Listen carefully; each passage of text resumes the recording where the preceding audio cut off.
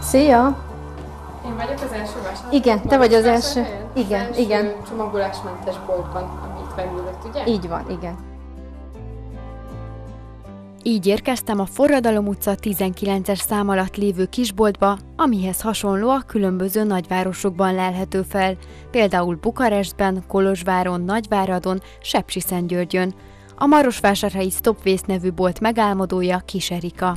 Saját életemből kiindulva, nagyon rég szerettem volna olyan vásárlást vásárhelyen, ahol csomagolásmentesen tudok vásárolni, ezáltal is csökkenteni tudtam volna a háztartásomban levő hulladékot. Nem, nem volt. És ez volt számára a legnagyobb motiváció, így létrehozta ő maga.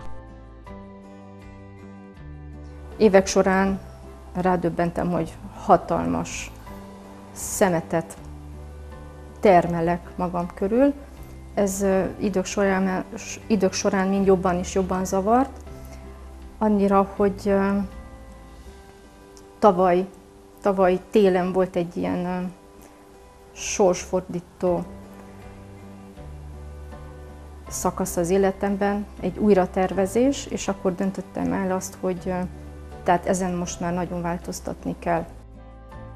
Hogy a hulladékmentes életmód kiemelkedő szempont volt, azt bizonyítják az üzletben kiállított francia fotóművész képei is.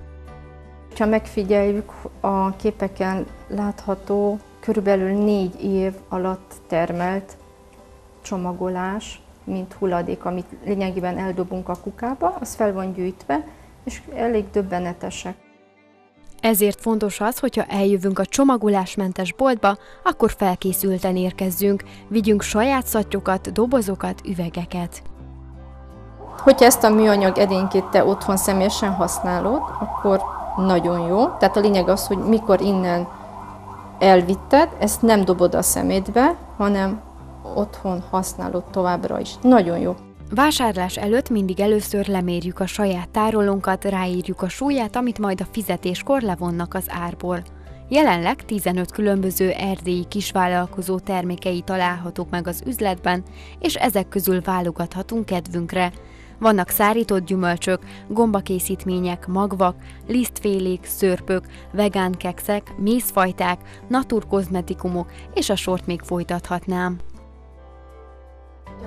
Krémet szeretnénk vásárolni, akkor is hozhatunk magunknak külön tégelyt, és ebbe tesszük, mivel Természetes. így sokkal olcsóbb, mint hogyha megvennénk a kiszerelésben. Igen. Ugye? Az otthon kifogyott krémes tégelyedet kimosod, és nyugodtan behozhatod, és újra feltöltöd azzal a krémmel, amit pont szeretnél. Emellett természetes alapanyagokból készült micellásvizet, sampont, tusfürdőt, mosogatószert, mosószert és folyékony szappant is tudunk hasonlóan vásárolni. Vannak termékek aknés problémás bőrkezelésére, dehidratált bőrkezelésére, vannak termékek, melyek ugye felveszik a harcot az öregedés gátlással, ráncokra, száraz, mindenféle bőrtípusra külön kialakítottunk egy-egy terméket. Kovács Erzsébet 9 évvel ezelőtt kislánya ekcémájára keresve a megoldást kezdett el kézműves kozmetikumokat készíteni. A termékek kizárólag növényi kivonatokból, vitaminokból készülnek, melyek alapul szolgálnak kisvállalkozásának. Elsősorban azért, mert kizárólag csak azt tartalmazzák, ami a természetből származik, másodszorban, hogy üvegtégelyekben vannak tárolva, és ugye ez a most az ömlesztett nagykiszerelés még inkább természettudatossá teszi ezeket a termékeket, a nagykiszerelés. Makkai Gergely székelyhodosi szörpjei is gazdagítják az új bolt polcait. Málna, ribizli, áfonya, homoktövis, bodza, rózsa és a fenyőszörp közül lehet kedv szerint válogatni. Mi egyáltalán nem használunk vegyszereket a termesztésbe, sőt, még klóros vizet se használunk. Mi a talaj mikroorganizmus, mikroorganizmusaival dolgozunk. Ez azt jelenti, hogy mi felszaporítjuk a talajban élő baktériumokat és gombákat, és azokat ugyanúgy ö, visszaszolgáltatjuk a talajnak.